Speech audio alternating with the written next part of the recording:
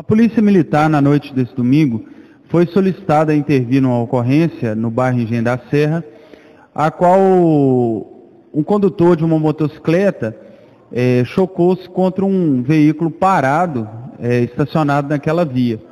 É, nisso começou-se um atrito no local, nas proximidades de um bar, e o condutor da motocicleta deslocou até a sua residência, que era próxima, e buscou uma arma de fogo Nisso, o, o outro envolvido no atrito conseguiu tomar a arma de fogo né, do, do autor aí, e não satisfeito, esse autor novamente foi até a residência, buscou uma nova arma de fogo, né, e começou-se novamente um atrito, ele conseguiu efetuar um disparo de arma de fogo contra o, a vítima, e que, que, veio a lesionar a mão, né? cortou a mão da vítima, a arma caiu, eles entraram em luta corporal.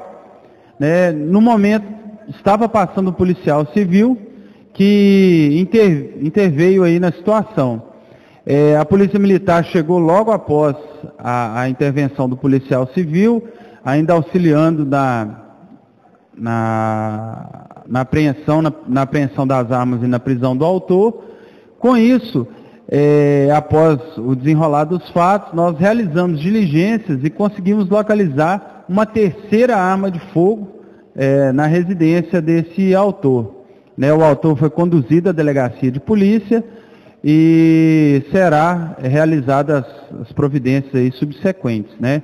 Com isso, a Polícia Militar conseguiu evitar um possível homicídio né, na cidade de Manhuaçu, no bairro Engenho da Serra.